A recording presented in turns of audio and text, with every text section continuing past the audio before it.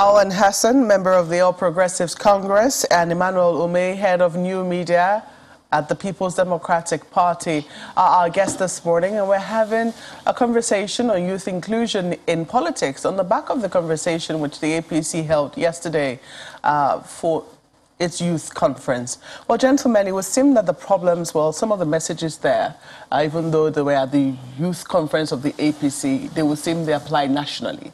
Uh, the vice president was talking about how young people will have to leave social media spaces and, you know, join politics. And it would seem that it's a problem that both parties suffer. Uh, that lack of interest in joining politics. Um, I don't know if you have seen it and what explains it in your own opinion. Um, just to correct, you know, he made certain assertions that I needed to correct. In 2015, just before um, the then president left, he had an engagement with young people. The then youth leader, Maibasira, you know, had organized an engagement with young people where young people met with the president as at that time when he was still the president. Um, the president wasn't even courageous enough to attend their own event. He sent in representatives. So it tells you where his interest lies. In 20, um, just last the year... vice president doesn't count. Come on. The vice president that attends um, TraderMoni. For me, I, I, yes, fine, but um, I felt it would have Your gained next president. It would you know which next president. It would have gained more you know interest if the president attended that pres that that um, um, event personally, but he didn't. In 20, 20 um, last year, we had a youth program. We were doing a six geopolitical zone program. So we started from the southeast, where we had a youth engagement with youth leaders in the southeast. We moved into Bauchi, just um, early this year, and then we'll be hosting another, you know, geopolitical zone. So just to correct that impression, um, you were talking about the unity and interest in politics. Um, this government has done so much to take away the attention of young people, you know, coming into politics. Um, this is a government that every single time where young people want to get involved in politics, want to get involved in governance, their policies, the kind of laws that they make has always driven young people away. There's a, you remember just, you know, um, EndSARS protest that just happened a few months ago. Nothing that people were asking of. They just wanted um, police brutality to end. And what happened? The president, just a few weeks ago, came out to say that, oh, we want young people wanted to chase him out of Aso Rock. That tells you the kind of mentality that the president has. Uh, the election that happened in Kogi State, where young people came out to vote, you saw where helicopters, they were using helicopters to, to fire at young people that came out to vote. It is not me saying they have their, their um, evidence to prove, you know, otherwise. You saw what happened even in my friend's state, in Kano, where young people came out to vote and, you know, you, the rest is history. The same happened in Osun State. The same even happened in Lagos State during the gender um, 2019. So the, the question is about inclusion, because if you ask me, I mean, I haven't followed the political parties for a while now. Yeah. It would seem that it's been a problem even when the PDP was in power. No. Let me give you an instance. Okay. I do recall that there was a time when, um, talking about leaders within parties, uh, when it was, it wasn't confirmed, but I mean, I, I, did not go and personally confirm the age, uh, but it was in the papers that the, the age of the youth leader then in the PDP was a 60-year-old. Yeah, and they felt that, you know, they, were, they felt that these are the kinds of things that alienate young people. And even positions that should exclusively uh, be left for young people are manned by people who are not youth, so to speak. Uh, so how do they intend to draw young people into the party uh, to be more to ensure that it is inclusive in its policies and in its politics. Yes, uh, yeah, I remember back then, and then we raised an alarm, we raised an issue. That was way back, I think, about six, seven years ago. And that was what, that was what brought uh, Maibasira then as a youth leader, who happens to be the youngest youth leader any even APC government hasn't produced. He was a youth, he was a youth leader of PDP, I think, at 33 or 34 years. Um, you were talking about governance of PDP. For example, you, you I don't know whether we've forgotten that um, um, Donald Duke was a governor in his 30s, right? Um, Amaechi was a speaker in his 30s. So those, those complaints, was a governor no, so in hold, his 30s. Those, those complaints at that time, they were not valid? No, what complaints about the about the non-inclusiveness of young what I'm people saying, no, no, no. I'm not saying it's not valid. I'm not mm. saying that. I'm not saying that. I'm saying that even when you know it became an issue, the party took you know uh, a decision quickly. And then that was what made Basira, made Basira the youth leader at that, that time, you know, and he was in his 30s. So I'm saying that PDP has always been a party that always wants to include young people in its governance system. I gave you an example of where, even where young governors in their 30s were made governors, um, the former speaker, um, Bankole, was, was in his 30s, right? So, uh, of course, he was in his 30s when he became an, uh, um, a speaker under the PDP government. So the point I'm making is that PDP has always been a party that always wants youth inclusion. Um, you can even see when we're in government, um, the youth in government as at that time compared to what we have now is a far cry. I just gave you an example that for the, the youngest minister in this government is 48 years. Average the average age of the minister in this government is 61 years. So if you're talking about a government that promised in 2019 that they were going to make young people ministers and the youngest person is 48 years. So you can't even compare after six years in government. You can't, you don't see competent young people enough to make ministers. And it tells you everything about the party and its administration. Mm. I'm sure that you definitely have your own response to that, even though I'm trying my best to bring out, you know, uh, conversations that there will be general response to. I mean, in terms of the engagement. But I'm thinking, you know, if people, if, I mean, some of with some of the examples that he's given, where you know there were still instances of young people in leadership positions, given the age of some of the uh, elected and appointed, uh, you know, personalities, but most of them elected who, who, he's made reference to in the time of the PDP. It would seem that uh, a lot of that has fizzled out now, you know, in the APC, and maybe that's one of the reasons why you had to have this conference. Would that be correct?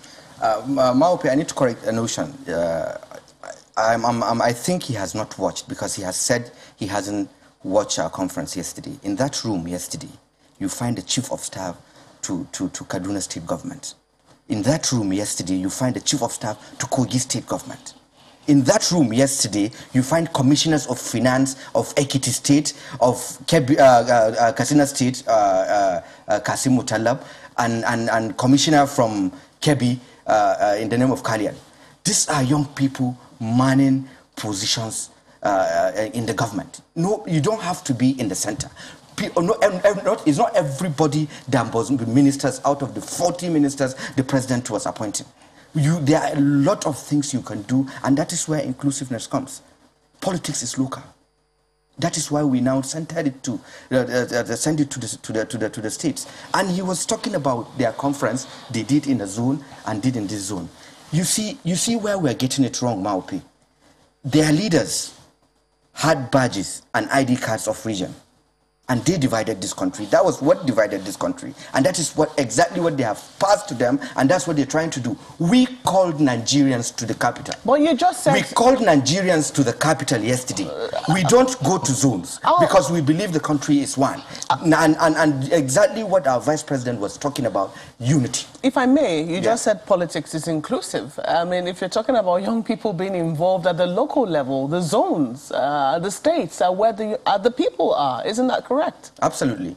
So what's wrong with engaging with them at the zonal level? If you haven't, if you're having a conference of a party, a nationalist party, like their own and ours, you should come to Abuja and call everybody. You don't go to zones. If you go to zone, zones, you are defining it as this is your zone, this is your, your, your problem, it, it and this is what we're tackling. it shouldn't exclude zonal engagements, should it? It, it, it, But the main thing should be in Abuja. The main conference, I, and this is what they have never had, no, a conference like ours that should happen in this town. And that is what we did. And that is what, and in fact, what... Uh, uh, uh, well, that, that's not the question I have posed to you, though. The question I posed is about whether it's because you have seen the fact that young people have not been as included as they ought to be. Is that the what reason why is, you have had enough. this now, conference? What we are saying is it's not enough. There are a lot of young men in this government. But not, of NITDA. But not Kashifu of NITDA is less than 40. Ahmed Salihijo of REA is less than 40. He made specific reference to the promise that, you know, no, I'm just telling you that we have a lot included of people. as ministers. But it can never be enough for young people. We are 70% of the population of this country. All of us cannot be appointed in the government. Even if they come back tomorrow. But do we see that reflected? The fact that you know this country and that was why is we called that was why we called them the uh, Maupe, that was why we called them yesterday to tell them that it's not enough we demand more. We want to participate. Give us a chance to, to take over our country our government. This is what we told them. And a lot of them they have said it. It's not about uh, uh, uh, age uh, or about we living as old people, then you people come in. If you listen to the vice president, that was what he, he was saying. Get involved, come in, let's do, let's let's let's let's start like that. To your mind, why do you think it's been very difficult for young people to be really included in politics and in government? It is because we refuse to participate. People see politics as a toggery. We refuse to participate because, because of the mentality they have put in young men in Nigeria in the last 16 years. People see politics as a dirty game. And, and let me tell you the difference between us and them. If you look at that hall yesterday, 95% of the attendants paid for their flight tickets. We only gave them hotels. We came together to gather money and, and, and, and, and got a hotel room for them. We, you should have a second office. You should have a second address, not just being based in politics. That is our ideology. That is the progressiveness in us. You have to have a business. Politics is not a business. Politics is about governance. So, so, so, so, so our difference with them is the commitment. I I feel somewhat hampered right now. It would have been very interesting to see just what, uh, you know, what the comments would have been on Twitter, which you were active on, and I'm sure he's active on. He, he's uh, head of new media of the PDP. Yeah. It would have been very interesting to see just what people were going to be tweeting as you were saying this. If Whether- there was no, if there was no disrespect from the owner of Twitter, If- if, there was no disrespect to our president from the owner of Twitter, we could have seen it. Well, eh, that is And as, to be... as a patriotic I- I- Nigerian, Maupe, and you as a patriotic Nigerian would not allow a foreigner come in to insult our government, do our you, president. do you miss Twitter? I'm on Twitter. I want the president. I, you know, they said they were going to. At the time, they said they were going to arrest people that um, are still on Twitter. I'm still on Twitter. I, I'm waiting for them to come and arrest me. And, you know, when we talk about governance, this APC government, I don't understand if they understand what governance is. You have young people on Twitter who make ends meet from Twitter, who make daily living from Twitter. Because of an ego of a president, you've destroyed people's businesses, you've destroyed people's lives. And then you are talking about insult. Twitter didn't insult Nigeria. What Twitter did was that they deleted a post. was that not an insult? Please, let me- let me- They deleted a post from the president who happens to violate their own rules. All right, well, we'll apologize for the loss in the uh, visuals there, but uh, we'll just sort it out and uh, get back to them. So I know it's what a coincidence. Oh, yes. At the mention of the name Twitter, and then that just happened. So yeah, it's just, it's just live TV. It can happen. We'll so. definitely pick up that conversation from where it ended and just ensure. Oh, that- well, can we still get the same verve? If, if that, well, we hope they don't drop the tempo. Oh, yes, yes. Well, but the, because the, the conversation is actually quite interesting and and very very important at this time. Remember, the president signed that "Not Too Young to Run" bill into law.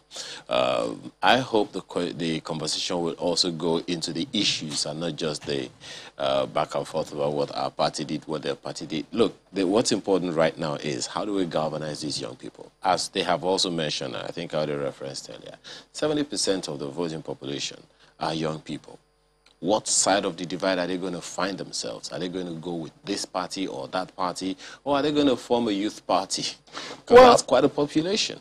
You know, the, the thing about some of those is, I mean, yeah, it's a democracy. Ideas are always welcome uh, across board. That's why it is a democracy. The ideas have got to contend. Absolutely. But you know, what uh, I think will benefit the country in the long run is, is such that they uh, institutionalize some of these policies so that, as we always say here, it's not just about one political party or the other, hmm. it's about the country.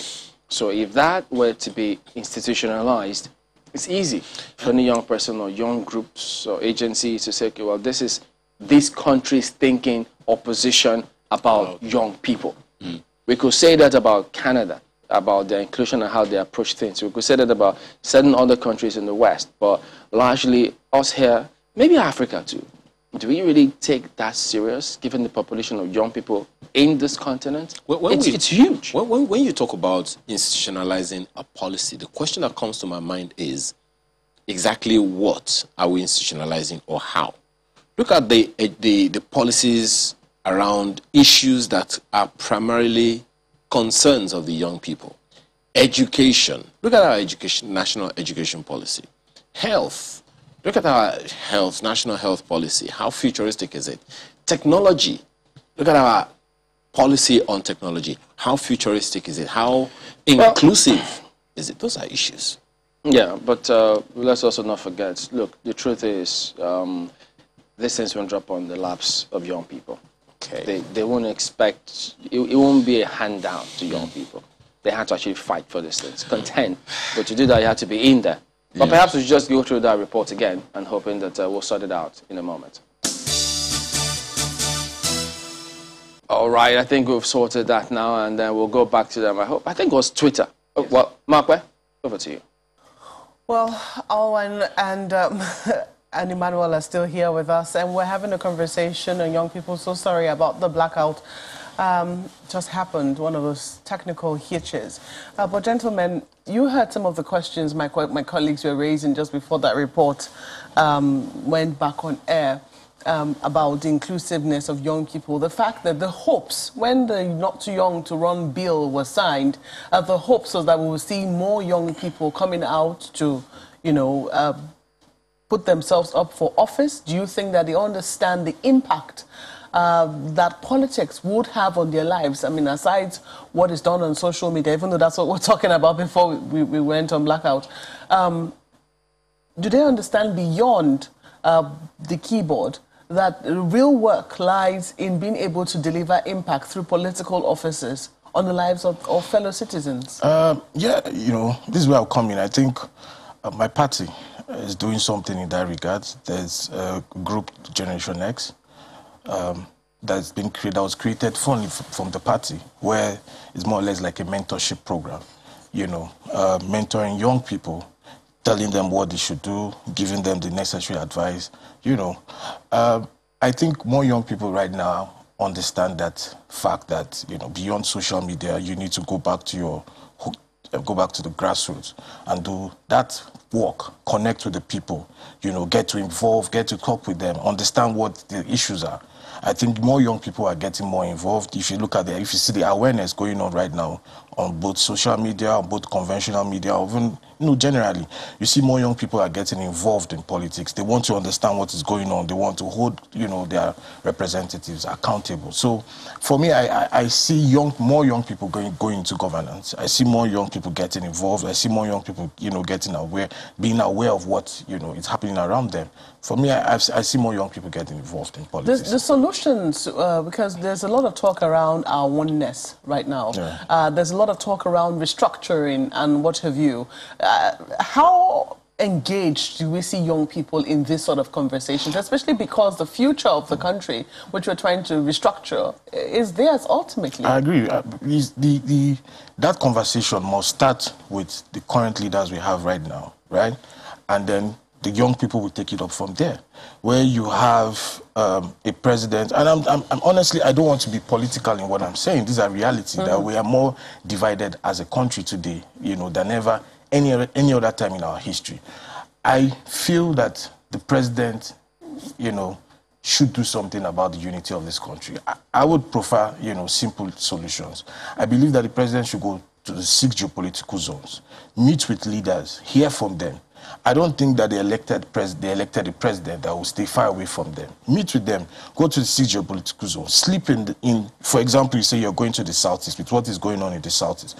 If you are going to say go to Enugu, have a whole 24 hours, sleep, sleep, sleep there, have a conversation with them, have a dinner, you know, party, or rather a dinner event. Listen to the leaders, and then the next day you go to, or rather maybe another time you go to another geopolitical zone.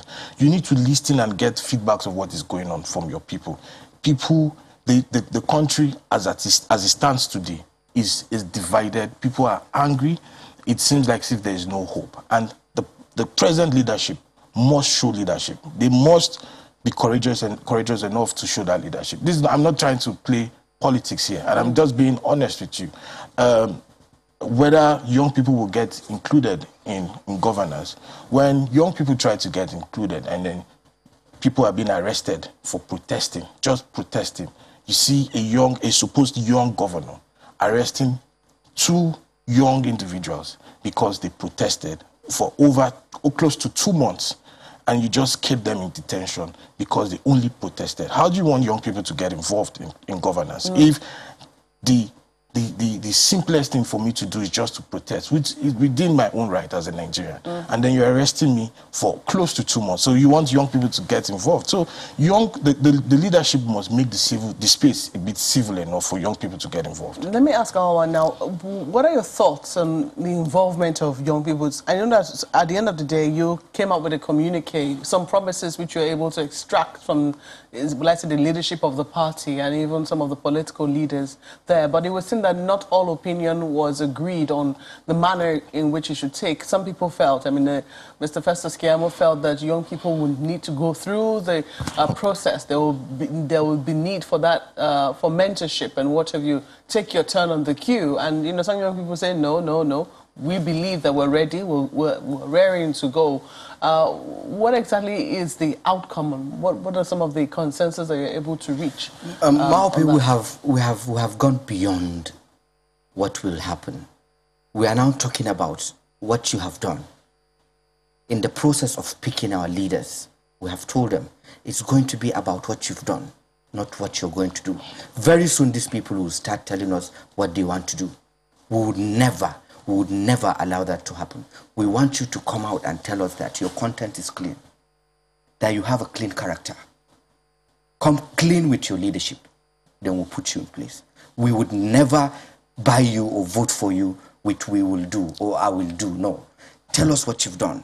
And that is where we are now. That is as a young person? And as a young person who, as, as, as, as, as somebody at the age and still energetic, it doesn't have, you see, you see, uh, as much as I'm a young man, it doesn't have, you don't, it doesn't have anything to do with age for you to go in government. True, but the reason why you did that is because you want to see young people in politics. Not just in government. Or, or, or what saying, we did, what we did, excuse me, Maupe, not just in government, empowerment.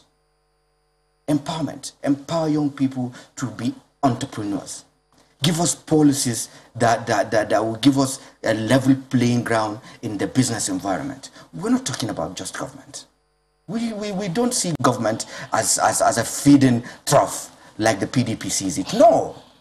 They see it as a feeding trough. You just had to That's make why. reference to the PDP. No, but it's the truth because I'm talking with the PDP. Mm. Do you understand? We don't see it that way. We see governance, we, we see leadership, uh, uh, we see government as giving governance. And anybody, anybody going into governance to make money is a thief.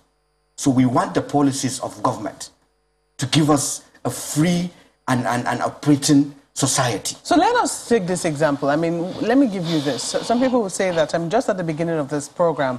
Uh, we're having conversations with what young people have been able to do in the fintech industry, even with technology. Um, and they've done amazing things. The kind of money that they have made has been mind-boggling with just uh, the invention, uh, with their creativity and what have you.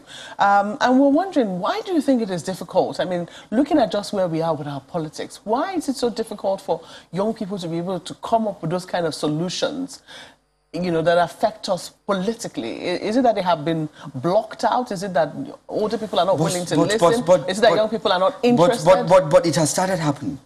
Recently, there is an assembling of, of an electrical car. Last week, sometimes last week. That's not going to affect our politics in any way. You, are talking about affecting cars, the economy. No, not the economy, the politics. Do you it is participation, Maupe. Oh. The young people refuse to come in and participate because they feel it is toggling or they feel it is a place where some people are making money. You come in and participate. You have to have a platform. There must be a mentorship. There you, ha- you have to participate and, and, and, and, and, and, and, and, and have a platform of a political party. This is said by our constitution. You have to go on a platform of a political party before you're being elected. Mm. You can't just be on the street protesting and you tell me they will now pick you up and just give you a governor. You have to have a political party. Mm. And where your right ends, that's where mine begins. So if you're protesting and blocking the road for me, the government is, is, is, is saddled with the responsibility to take you off the streets. And when he said EndSARS were, were protesting was peaceful, and the president recently said they wanted to remove him, there was placards that were saying Buhari must go. And when you say Buhari must go during a democracy, it's, it's, it's a regime change. There are institutions in this country and in every country that are manned by the responsibility of protecting the regime. And that was exactly what happened. Can I? Can Well, you know, sadly, we're so out of time. Can I I wish, just- I wish that we had the time to be able to respond, but sadly, that blackout took uh, quite a bit of our time. Gentlemen, I, I believe that this is a conversation that is ongoing. There are definitely things to challenge in your statement, Alwan. Uh, but let us leave it for now. I believe that this conversation is one that we'll have again, but we have to thank you both for coming on Sunrise Today this morning. Alwan Hassan is a member of the All Progressives Congress, and Emmanuel Umeh is the head of new media of the People's Democratic Party.